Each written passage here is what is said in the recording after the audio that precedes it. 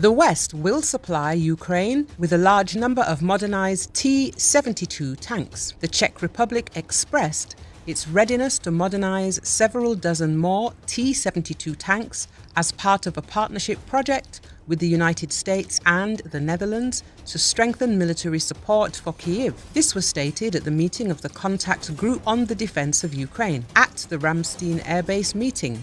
Daniel Blachkovets, Czech Deputy Minister of Defense, said that when it comes to the issue of assistance to Ukraine, the Czech Republic combines the maximum donations from army stocks, purchases from state funds, community funds, and commercial supplies.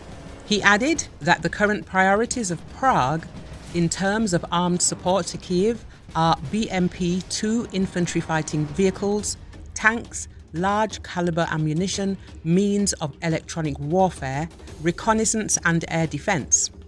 Among other things, as part of a trilateral project with the United States and the Netherlands to supply more than 90 modernized T 72 tanks, Ukraine has already received 37 and more are being received every month. We propose to increase the production rate by dozens more tanks if the partners are interested in financing this project, said Ales Vitechka, director of the Czech Intergovernmental Defense Cooperation Agency.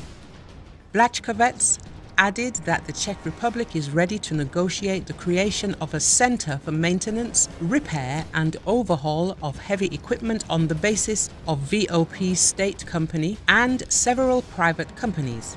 At the meeting of the contact group on defense of Ukraine in the Ramstein format, a meeting of the heads of defense departments of the countries that are part of the so called Tank Coalition was held.